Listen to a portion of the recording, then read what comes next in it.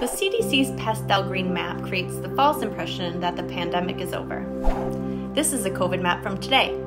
This is also a COVID map from today. So, how does this happen? And which map is useful to you, a person who does not want to get or to spread COVID?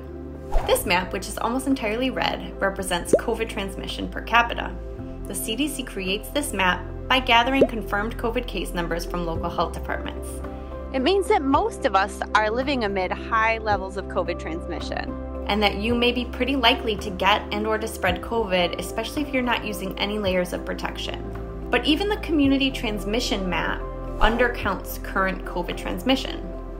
When Congress failed to renew COVID funding this past March, they eliminated financial support for uninsured people to easily access free tests and forced many community testing centers to close. And more people now are using at home rapid tests, which are almost never reported to local health departments.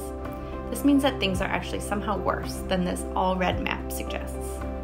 The CDC introduced this pastel community levels map in February. It's the map you see when you open the CDC website, and it's on the CDC social media pages. With this pastel map, it looks like maybe the pandemic is over. It's not. The community levels map is based on calculations that they claim show if COVID is overwhelming our health system. So instead of telling you if you're likely to get or spread COVID, this map tells you whether you could access a hospital bed should you need it. The problem is that by the time this map turns pastel orange, it's already too late to prevent tragic and avoidable deaths, chronic illness, and disability from long COVID. At the People CDC, we want you to know that the community levels map masks the state of the pandemic.